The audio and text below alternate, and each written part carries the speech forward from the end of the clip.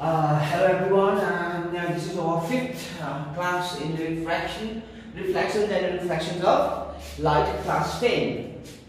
So, uh, in this chapter, last in last class we cover almost uh, the basic property of refraction, reflections. Yes. Then after we knew some more about refractions of light. Obviously, refractions of light like. It's a phenomenon when it's a phenomenon of bending of light when the ray of light moving from one medium to another medium. अनि के भनिन्छ त्यति बेला अनि if the ray of light is traveling from real medium to denser medium it will bend towards the normal if the ray of light is uh, moving from denser medium to real medium it will bend away from the normal भनेर हामी पढेको थियौँ but in the every situation what we learned is uh, bending of light. There is a basic property of bending of light when it travel from one medium to another medium. Okay now. जब कुनै दुईटा मिडियममा रे of light travel गर्दाखेरि के हुँदै थियो? Banding हुँदै थियो। यो कुरो चाहिँ हामीले बिर्सिनु भएन। के हुँदै थियो? ब्यान्ड हुँदै थियो। बिर्सिँदैन रिफ्रेक्सन अफ लाइटमा सो त्यो ब्यान्डिङ प्रोपर्टी कति ब्यान्ड भयो? हाउ मच ब्यान्ड भयो? अनि कति ब्यान्ड हुँदैछ? त्यो ब्यान्ड चाहिँ केमा डिपेन्ड गर्छ भन्दाखेरि it will depend upon the optical ठिक छ it will depend on optical density optical density भन्दाखेरि कतिपल्ट फ़िज़िकल डेन्सिटी नसोच्नु जस्तै kerosene is less denser than water किनकि तिमीले वाटरमा क्यारोसिन लगाउँछौ, त्यति बेला के हुन्छ? क्यारोसिन फ्लोट हुन्छ वाटरमाथि फ्लोट हुन्छ कि हुँदैन अनि वाटर चाहिँ मुनि रहन्छ। त्यति बेला के हुन्छ? Water is more denser than kerosene त्यो चाहिँ केमा फिजिकल्ली ठिक छ but we are talking about optical density what is optical density कुन चाहिँ मिडियममा चाहिँ कतिको स्पिडमा कतिको सजिलैसँग लाइट पेनिट्रेट गर्छ प्रोपाग्रेट गर्छ। ठिक छ? कुन चाहिँ मिडियममा कति सजिलैसँग लाइट छिरेर जान्छ। बुझ्यो? But if we look at the optical density क्यारोसिनमा सजिलो लाइट ट्राभल हुन्छ कि वाटरमा अभियसली वाटरमा सजिलै लाइट ट्राभल हुन्छ ठिक छ कि छैन इजिली लाइट पेनिट्रेट हुन्छ ट्राभल गर्छ प्रोपागेट गर्छ way as compare to the kerosene होइन सो मतलब के आयो? It is totally different the optical density is totally different than the physical density ठिक ठिक छ optical density is totally different than physical density एउटै हुनुपर्छ भन्ने मतलब सबै फ़िज़िकल डेन्सिटी हेभियर छ भने लाइट अप्टिकल डेन्सिटी पनि बेसी हुन्छ भन्ने छैन। ठिक छ? यस्तो पनि कतिवटा फ़िज़िकल डेन्सिटी कम्ती छ बट अप्टिकल डेन्सिटी बेसी हुनसक्छ। So we are talking about optical density ठिक छ? सो के हुँदै थियो? कुनै ray of light is moving from one medium to another medium the beam of light is either bending towards the normal or bending away from the normal यदि medium चाहिँ के छ रियल छ भनेदेखि डेन्सर मिडियमदेखि रियल छ भनेदेखि it will bending away from the normal if rarer मिडियमदेखि denser मिडियममा जाँदैछ भने bending towards the normal so more the more the then optical density more will be the bending property ठीक छ if this is air, if this is water. So यसरी आउँछ यसरी bend हुन्छ यसरी देख्दैन नर्मल टीचर वाटर बट अर्क property छ यो छ air Muni glass so little more bend not perpendicular more bend towards the ground so यो ग्लास सो बेंडिंग प्रॉपर्टी चाहिँ क्या डिपेंड हुन्छ कति बैंड होते यहाँ भन्दा यहाँ ये बैंड हुँदैछ, यहाँ ये बेसी बैंड हुँदैछ। नभए यो यसरी हो सो बेन्डिङ प्रोपर्टी केमा डिपेन्ड हुँदैछ medium how much is denser so त्यो कति बेन्ड हुँदैछ एउटा मिडियमदेखि अर्को मिडियममा जाँदैन त्यो बेन्डिङ प्रोपर्टी कति बेन्ड हुँदैछ त्यसलाई मेजर गर्छ त्यसलाई के भन्नु सक्छ it is the extent of change in the direction of light that take place in the given pair of medium. मतलब कुनै एउटा पेयर अफ मिडियम थियो एयर वाटर त्यो pair of मिडियममा compare to each other they are comparing to each other They are interrelated to each other. Air and water interrelated to each other. And comparing to each other, कति bend हुँदैछ त्यो प्रोपर्टीलाई चाहिँ के भन्न सक्छौ तिमी refractive index भन्न सक्छौ First, you need to know the speed of light. Sorry, it's not light. It's light. L I G S T. Speed of light in vacuum is 3 into 8, 10 to the power 8 meter per. Metre per सेकेन्डलाई यो सेकेन्डलाई माथि लगेको inverse भएको र यो दुइटा same हो। माथि गएको कारणले नेगेटिभ भएको सो अब यसलाई मोर बुझ्नको लागि के गर्न सक्छु? Let V one be the speed of light in medium one let say medium one is air ठीक छ? So let V two be the speed of light in medium two यसलाई भनौँ वाटर ठिक छ? इक्जाम्पल है बुझ्नको लागि। के भन्न सक्छु हेर यो कस के भन्न चाहेको the refractive index of medium 2 with respect to medium 1 is given by हेर फेरि refractive index of medium 2 with respect to medium 1 is given by n to 1 where n is my refractive index. N to 1 to 1 मतलब कुन चाहिँ मैले refractive index हेर्दैछु refractive index of medium 2 जुन चाहिँ refractive index हेर्दैछ त्यसलाई के गर्छ अगाडि लेख्छ ठिक छ the refractive index of medium 2 is equals to speed of light in medium 1 हाम्रो के थियो air and the speed of light in medium 2 is v1 by v2 ठीक छ फेरि similarly if the refractive index of medium 1 गरेको भने के हुन्थ्यो n12 हुन्थ्यो यो माथि आउँथ्यो तल जान्थ्यो ठीक छ फेरि एकपल्ट म भन्दैछु अर्को गराउँदैछु The refractive index of medium 2 with respect to medium 1 is given by n to 1. Medium 2 लाई चाहिँ अगाडि लेख्दैछ So speed of light in medium 1 divided by speed of light in medium 2 equals to v1 by v2 where n is the refractive index. Similarly, similarly note गर्छ note it down, note it down, ठीक छ? Similarly,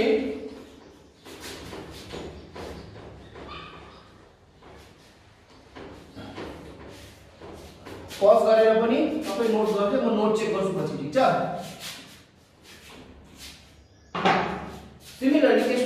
meter speed of light in medium 1 with respect to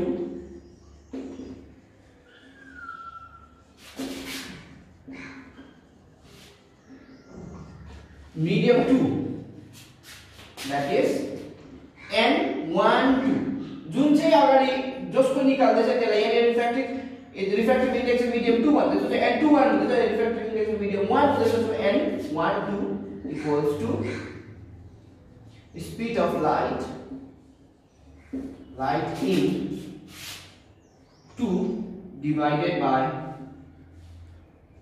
speed of light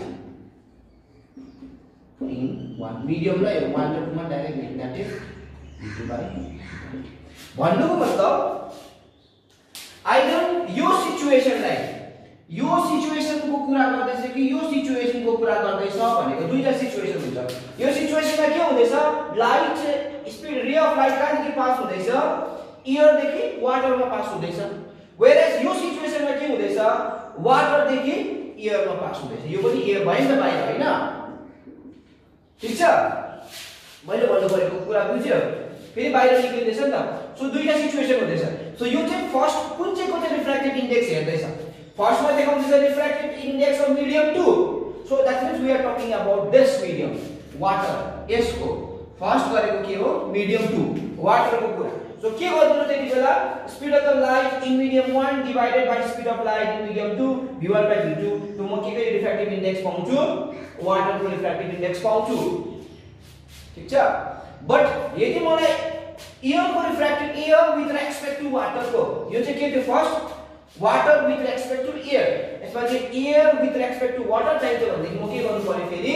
Speed of light in medium 1 that is n1 1 2 equals to speed of light in medium 2 divided by speed of light in medium 1 that is v2 by v1 बुझ्दैछ फेरि भन्दैछु medium 2 को चाहियो water को चाहियो भने with respect to whom with respect to medium 1 medium 1 is air that means uh, refractive index of water with respect to air refractive index of air with respect to water So in this way, you can compare two mediums and you can find we can you can compare the two given mediums and you can find the refractive index of two given relations in the medium. ठीक छ? Refractive index को relation निकाल्न सक्छौ. But this is not all it. Next we are going to know about absolute refra uh, refraction refractive index. ठीक छ? Absolute refractive index. So similarly next next topic is absolute refractive index. Absolute refractive index कतिपल्ट इक्जाममा आउने गर्छ what is absolute refractive index भनेर so तिमीलाई याद होस् ठिक छ सो हामीले अघि के गरेको थियो रिफ्रेक्टिभ इन्डेक्समा अनि सम हामीलाई याद थियो कुनै मिडियममा एयर र वाटरसँग हामीले कम्पेयर गरेको थियो ठिक छ if this is my any medium medium other than vacuum any medium other than vacuum यो माथि चाहिँ मेरो के अरे एयर अदरवाइज़ यसलाई म भ्याक्युम भन्छु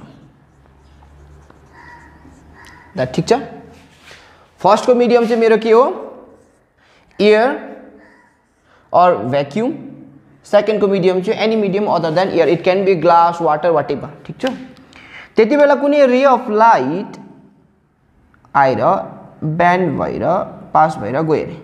ठिक छ? Normal? Normal.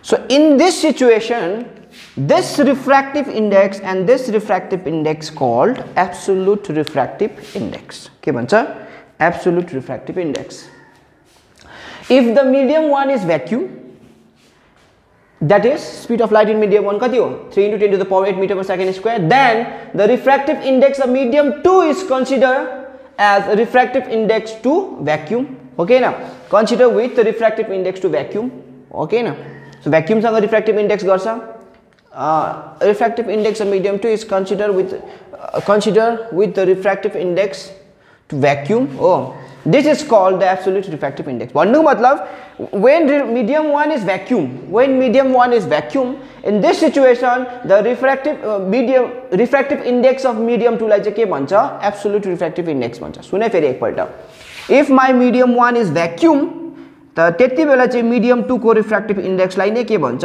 रिफ्र्याक्टिभ इन्डेक्स भन्छ। अदरवाइज एब्सोल्युट रिफ्र्याक्टिभ इन्डेक्स भन्छ। प्रोभाइडेड मेरो मिडियम वान चाहिँ के हुनु पऱ्यो भ्याक्युम भन्नु मतलब कुनै पनि रे अफ लाइट चाहिँ कहाँदेखि पास भएको हुनु पऱ्यो एउटा भ्याक्युमदेखि पास भएर चाहिँ कुनै एउटा मिडियममा भ्याक्युमबाट आएको रे चाहिँ मिडियमबाट पास भएको हुनु पऱ्यो ठिक छ? कुनै भ्याक्युमबाट रे अफ लाइट आउँदैछ अनि मिडियमदेखि पास भएर जाँदैछ भनेदेखि चाहिँ मिडियम टूको रिफ्र्याक्टिभ इन्डेक्सलाई नै के भन्छ? मिडियम टूको रिफ्र्याक्टिभ इन्डेक्सलाई के भन्छ? एब्सोल्युट रिफ्र्याक्टिभ इन्डेक्स भन्छ। अदरवाइज सिम्पली रिफ्र्याक्टिभ इन्डेक्स पनि भन्छ। अब फर्दर ओ रिफ्र्याक्टिभ इन्डेक्स नै भन्छ यसलाई। ठिक छ? कसरी? भन्नुको मतलब यदि I have to find the refractive index of water ठिक छ? सो म वाटरलाई कहाँ लाउनु पऱ्यो एउटा? भ्याक्युम च्याम्बरमा लाउनु पऱ्यो बुझ्यो भयो? भ्याक्युम च्याम्बरमा वाटरलाई राख्नु पऱ्यो अनि त्यहाँबाट के भन्यो? रे अफ लाइट छिराउनु पऱ्यो तब चाहिँ म रिफ्र्याक्टिभ इन्डेक्स अफ वाटर पाउँछु। फेरि सुन रिफ्र्याक्टिभ इन्डेक्स अफ मिडियम टूलाई चाहिँ एब्सोल्युट रिफ्र्याक्टिभ इन्डेक्स तब मात्रै भन्छ जब मिडियम वान चाहिँ के छ मेरो? भ्याक्युम छ। सो मलाई के चाहियो? रिफ्र्याक्टिभ इन्डेक्स अफ वाटर चाहियो। अघिको म्याथड कम्पेरिजम जो यो जुन चाहिँ फर्स्टमा सिकेको थिएँ नि त्यो चाहिँ when you have a given pair of mediums with respect to भनेको थियो नि त। Refractive index of medium two with respect to medium one भनेको थियो छ अथवा refractive index of medium one with respect to medium two भनेको थियो। तर यहाँ चाहिँ कम्पेयर होइन। के खोज्नु भन्दैछ? Give me the refractive index of glass so कसरी दिन्छौ? तिमी के गर्छौ? त्यो ग्लासलाई पहिला ग्लास स्ल्याबलाई पहिला के लेखाउँछौ? भ्याक्युम च्याम्बरमा लाउँछौ अनि त्यहाँबाट रे अफ लाइट पास गराउँछौ ठिक छ? अनि चाहिँ तिम्रो ग्लासकोले कति रिफ्र्याक्टिभ इन्डेक्स दिँदैछ त्यही नै तिम्रो के हो? रिफ्र्याक्टिभ इन्डेक्स अफ ग्लास हो भन्नु मतलब एब्सोल्युट रिफ्र्याक्टिभ इन्डेक्सलाई म के पनि भन्छ? रिफ्र्याक्टिभ इन्डेक्स अफ मिडियम पनि भन्छ। रिफ्र्याक्टिभ इन्डेक्स अफ मिडियम पनि भन्न सकिन्छ। भन्नुको मतलब तिमीलाई क्यारोसिनको रिफ्र्याक्टिभ इन्डेक्स दिनु छ। सो तिमी क्यारोसिनलाई कहाँ लाग्छौ? भ्याक्युम च्याम्बरमा लाउँछौ अनि रे अफ लाइट पास गर्छौ तब तिमी क्यारो जति पनि रिफ्र्याक्टिभ इन्डेक्स निक्लिन्छ त्यो तिम्रो के हो? क्यारोसिनको रिफ्र्याक्टिभ इन्डेक्स हो।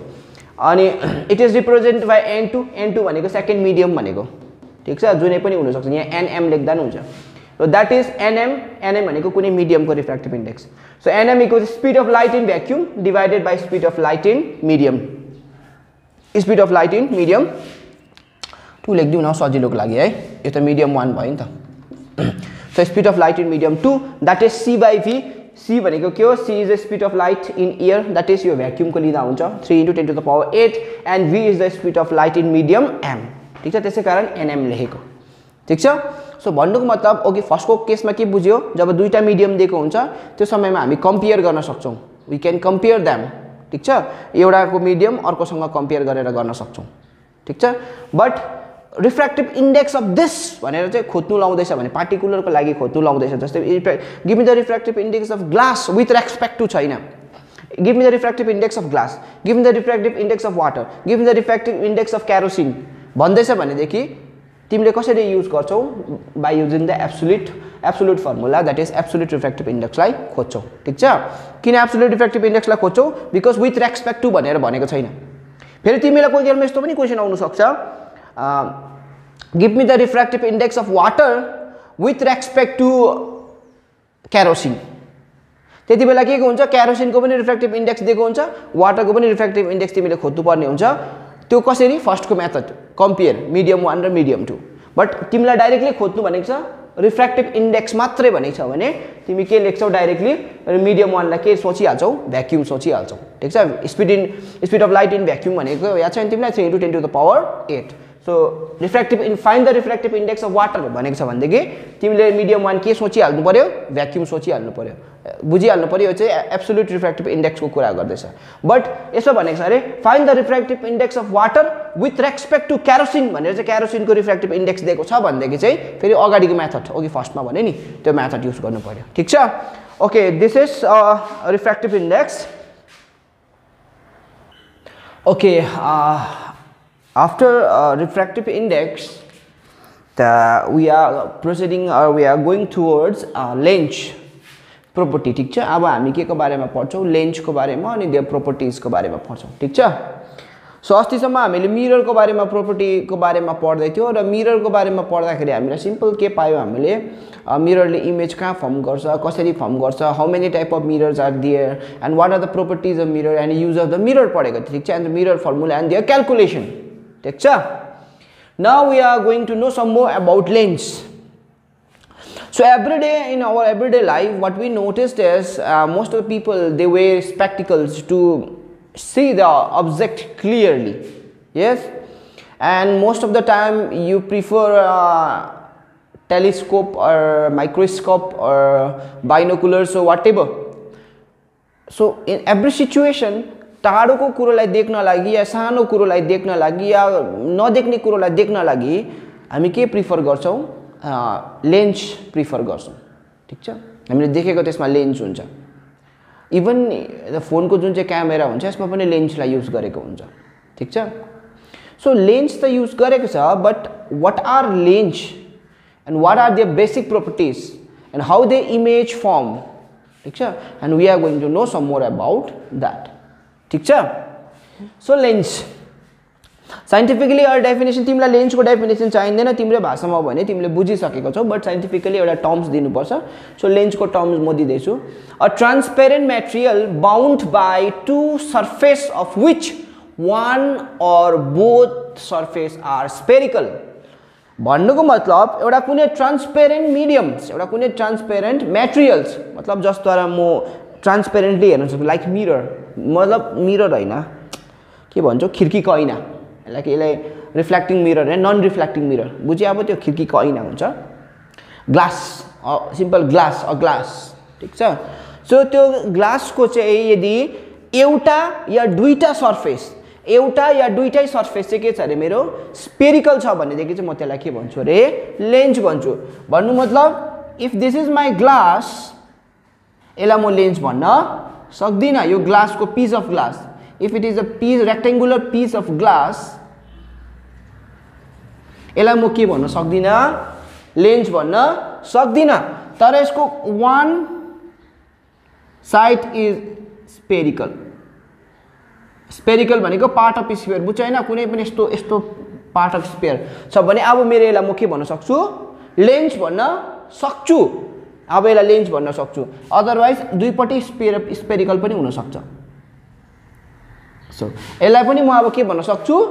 लेन्स भन्न सक्छु ठिक छ? अदरवाइज इनवर्ड स्पेरिकल किन आउटवर्ड स्पेरिकल इनवर्ड स्पेरिकल पनि हुनसक्छ।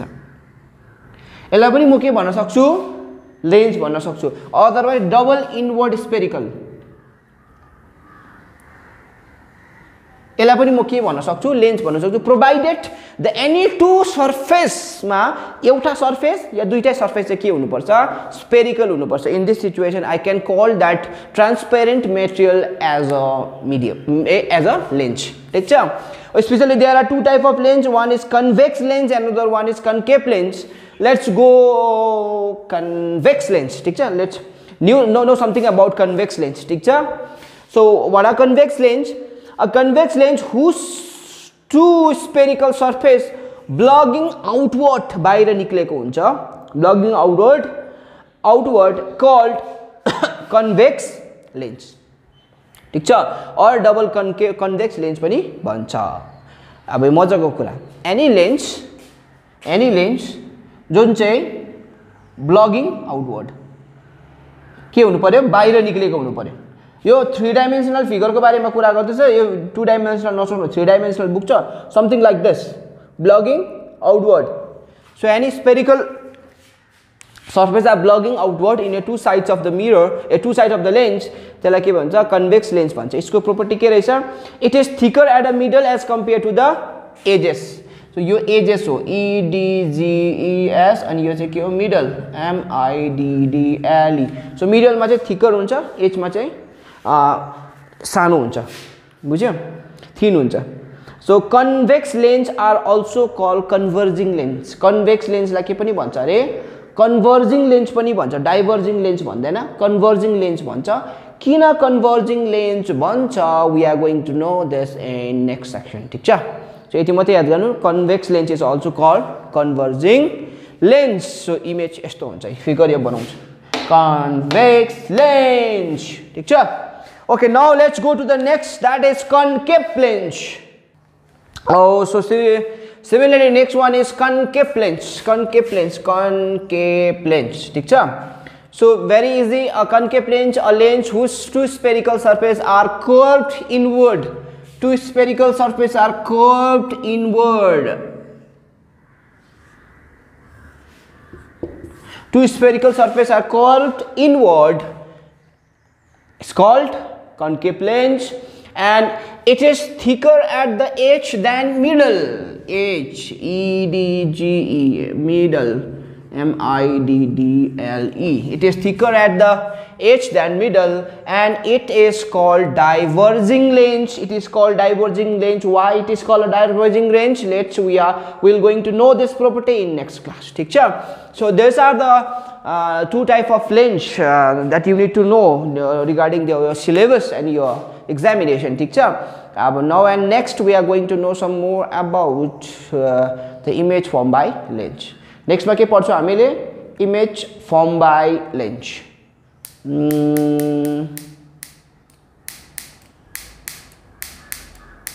okay अलिकति भनिराख्छु लेक्चरलाई यो कुराहरू। नेक्स्ट क्लासमा म डिटेल भन्नु पर्दिनँ directly image form by lens गरेर इमेज बनाउँछौँ। त्यसै कारण एक दुईवटा प्रोपर्टी याद गर्छ। ठिक छ? एक दुईवटा प्रोपर्टी याद गर्छ। यो लेख्छ। लेख्यो? लेख्छ। पज गरेर पनि लेख्छ। ठिक छ? सो एक दुईवटा कुरो याद हुन्छ। जस्तै हामीले अस्ति इमेज फर्म बाई मिरर गर्दाखेरि इमेज फर्म बाई मिरर गर्दाखेरि के कुरो हामीलाई याद थियो भन्दाखेरि centre of curvature radius of curvature अनि प्रिन्सिपल फोकस प्रिन्सिपल फोकस अनि के के याद थियो? प्रिन्सिपल फोकस अनि पोल ठिक छ? बट अब हामी के को बारेमा कुरा गर्दैछौँ we are not talking about the any reflecting medium we are not talking talking about any reflecting surface reflecting सर्फेसको त एउटा मात्रै सेन्टर अफ कर्वेचर एउटा फोकस हुन्थ्यो। ठिक छ? प्रिन्सिपल फोकस हुन्थ्यो अस्ति हामीले गर्दा। किनकि एकपट्टि साइडलाई रियल भन्थ्यो अर्कोपट्टिलाई भर्चुअल भन्थ्यो। But we are now we are talking about lens अनि लेन्समा कतिवटा स्पेरिकल पार्ट हुन्छ। कतिवटा पो हुन्छ? लेन्समा स्पेरिकल पार्ट दुईवटा। सो दुईवटा स्पेरिकल पार्ट छ भने त्यसको सेन्टर अफ स्पियर कतिवटा हुन्छ? दुईवटा। दुईवटा स्पियर आउँदैछ भने सेन्टर पनि कतिवटा हुन्छ? दुईवटा। भने सेन्टर अफ कर्वेचर कतिवटा हुन्छ? दुईवटा। If centre of curvature is two obviously principal focus पनि कतिवटा हुन्छ? दुईवटा हुन्छ। So let us take example of convex lens ठिक छ? फुट्टे पस्यो सो कतिवटा पो हुन्छ सेन्टर अफ कर्वेचर यसमा? दुईवटा हुन्छ। सी वान यहाँ। सी टू ठिक छ? अब प्रिन्सिपल फोकस पनि कतिवटा हुनु पर्यो? एफ वान एफ टू ठिक छ? यसको बारेमा केही भन्नु पर्दैन। What is principal focus what is centre of curvature भन्नुपर्छ? पर्दैन। अस्तिकै याद छ।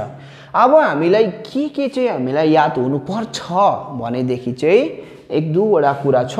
दिस इज यो यसलाई अब हामी it is no more pole अस्ति हामी के भन्थ्यो त्यसलाई?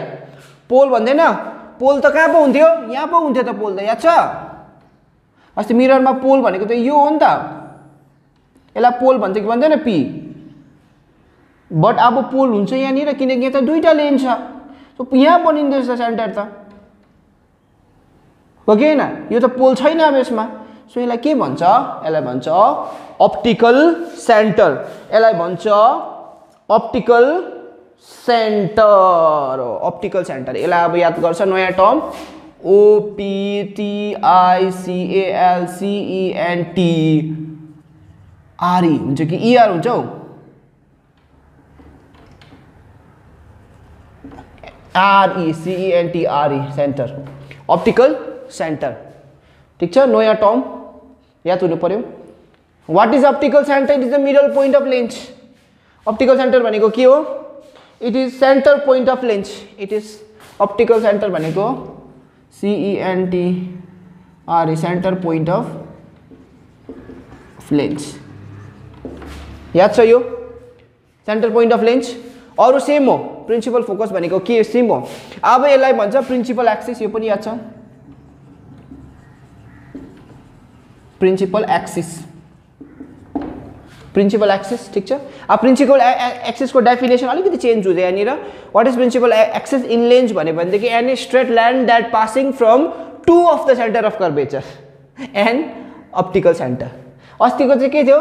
What is the definition for principal axis any straight line that passing through centre of curvature and pole भनेको थियो अब चाहिँ के हुँदैछ एनी टु ला any straight line that passing from two of the centre of curvature कतिवटा छ? Two of centre of curvature and optical centre चाहिँ कसले गर्दैन हाउडा भन्नु पर्दैन यहाँ सक्छौ तिमीले। यसको डेफिनेसन दिइबस्नु पर्दैन। अनि यो पनि भयो। अब तिमीलाई यहाँ चाहिँ याद हुनुपर्ने एउटा के छ? यो कुरोहरू डेस्कमा इमेज बनाउनुभन्दा अगाडि म तिमीहरूलाई भनिहालेको है। ल तिमीलाई यसमा याद हुनुपर्ने चाहिँ कुरो के छ? के कुरो छ भन्दाखेरि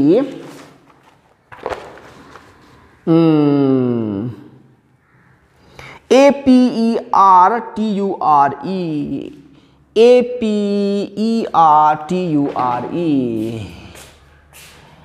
A-P-E-R-T-U-R-E A-P-E-R-T-U-R-E A-P-E-R-T-U-R-E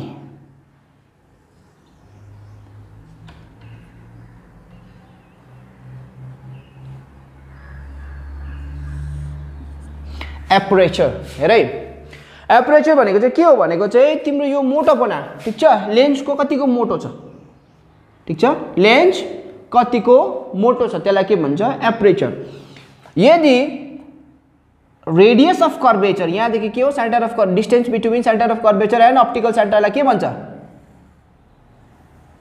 यो के भयो त रेडियस भयो होइन आर अस्ति याद छ यदि एपरेचर एपरेचर के हो अरे डिस्टेन्स बिट्विन यो लेन्सको मोटापना ठिक छ this is aperture if aperture of lens is very less than radius of curvature, then we can call lens is thin thin thin. ठीक छ? फेरी भन्छु न if aperture is very smaller than the radius of curvature then we can call a lens is very thin lens ठिक छ? Or if सेकेन्डमा के छ aperture is larger than radius of curvature aperture चाहिँ के छ? अरे लार्जर रेडियस कर्बेचर भाई ठूल। ते बेला म के भन्छु थिक भन्छु थिक लेन्स सो यसमा केही पनि ठुलो प्रब्लम छैन। यति मात्रै याद राख। एपरेचर्स भनेको के हो? Aperture is the that the thickness of lens अरे यसलाई यसको डेफिनेसन के छ होला भनेदेखि एपरेचर्सको बुकमा हेर्दैछु ल म ल।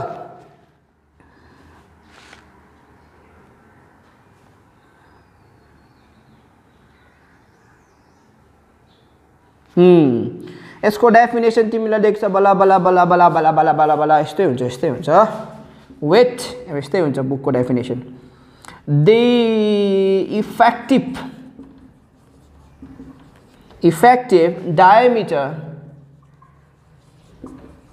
effective diameter of the circular circular outline of S P H E R I C A L. Lens यही हो तिम्रो डेफिनेसन अफ एभरेज अब डेफिनेसन तिमीले कतिको बुझ्छौ? मैले भनेको चाहिँ बुझौ मोटोपना। भेरी सिम्पल सो यो याद गर्नु सेन्टर अफ कर्वेचर हुन्छ फोकस दुईवटा हुन्छ principal focus centre of curvature दुईवटा हुन्छ। बिचको जुन चाहिँ हामीले यो यो पोइन्ट लास्ट के भन्थ्यो पोल भन्थ्यो अब चाहिँ अप्टिकल सेन्टर हुन्छ। ठिक छ? पोल हुँदैन अप्टिकल सेन्टर हुन्छ। रेडियस अफ कर्वेचर तिमीलाई याद छ अस्ति जस्तो दुईवटा रेडियस अफ कर्वेचर छ यहाँनिर। अप्टिकल पोल भन्छ यसलाई। अनि एप्रेचर्स भनेको मोटापा थिकनेस यदि एप्रेचर्स कम्ती छ रेडियस अफ कर्भेचर भन्दा त्यसलाई थिन लेन्स भन्छ। यदि एप्रेचर बेसी छ भने थिक लेन्स भन्छ। बुकमा हेर्छ ल बुकमा हेर्छ के पनि छैन। एप्रेचर्स भनेको के हो? एप्रेचर्स भनेको के हो? डेफिनेसन यहाँ छ simply so this this this was the thing that you need to know before going to know about the image form by lens and next in next class we are going to know something about the image form by lens image form by concave lens as well as image form by convex lens in the next class then after we will go to studies um, we will go go to know some more about the power. And then after we will close this chapter. ठिक छ so these are the something यो लेख्नु पर्दैन है यो तिमीले बुझ्दा हुन्छ ठिक छ प्रिन्सिपल फोकस मात्रै नयाँ छ ए प्रिन्सिपल अप्टिकल सेन्टर मात्रै नयाँ छ अरू सेम हो दुई दुईवटा बनाइदिनु बास भयो फोकल दुईवटा आउँछ सेन्टर अफ कर्वेचर दुईवटा आउँछ त्यति रेडियस अफ कर्वेचर दुईवटा हुन्छ नो नो वरी ठिक छ त्यही एउटा नयाँ टर्म आएको छ द्याट इज अप्टिकल सेन्टर त thank you so much and see you next class